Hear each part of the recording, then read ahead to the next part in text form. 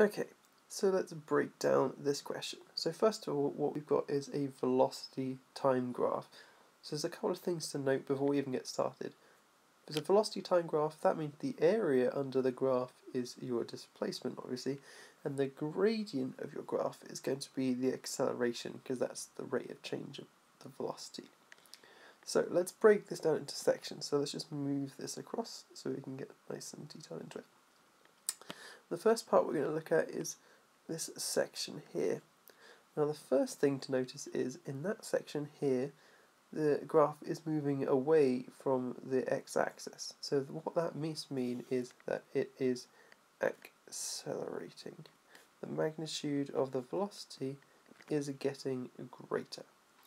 Okay, and the, the key thing to notice is that it's a straight line or it's got constant gradient, which means it's a constant acceleration.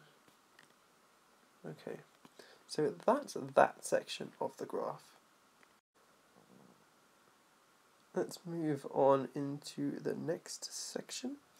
So let's just put this bit here and, and draw in the next. Next bit we're going to look at is this section along the top here. So this flat section of the graph. Now what you'll notice if you look over the axis is that velocity for this time is staying the same. So what you've got there is a point where it's going along at constant velocity, so which means the acceleration must be zero because the velocity is not changing. Okay, so let's move on to the next part. What we've got here is the downward section of the graph. Now the key thing to note is is that it's approaching the x-axis, so it's getting closer and closer to the x-axis, which means the magnitude of the velocity is going down, which means it must be decelerating. Okay, so we've got this section here where it's decelerating, and again we've got a constant gradient because it's a straight line graph, which means it must be at constant deceleration as it's going down. Okay. So let's move on to this bottom section of the graph. So what we're going to look at next is this section here. Now the first thing to notice is that again it's moving away from the x-axis. So that must mean that it's accelerating for this section here. And again, it's a straight line graph, constant gradient, so it's constant acceleration. Now the key thing to note here is obviously it's moving away from the x-axis in the opposite direction to the way it did before because before what we had over here it was going away in the positive direction but over here what we have is it's actually going away in the negative direction. So what you can say is it's a constant acceleration and it's in the opposite direction.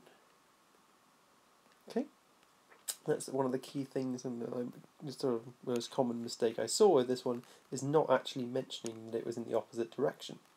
So to finish it off, let's have a look at this last section of graph. So if we do have a look at this section here, ooh, there's a bit of a wonky line there, but it's a straight line here. So this line is going along at constant velocity. So if we look over at the y or velocity axis here, you can see it's at minus 2 the whole way along. So that must mean it's at constant velocity again, so just like the upper section of the graph, or zero acceleration. And then let's look at the final part of the graph, this one over on the far right hand side. Now the key thing to notice is it's approaching the x-axis, so it's going towards the x-axis. So that must mean that it is decelerating. Okay, because the, the magnitude of the velocity is getting smaller.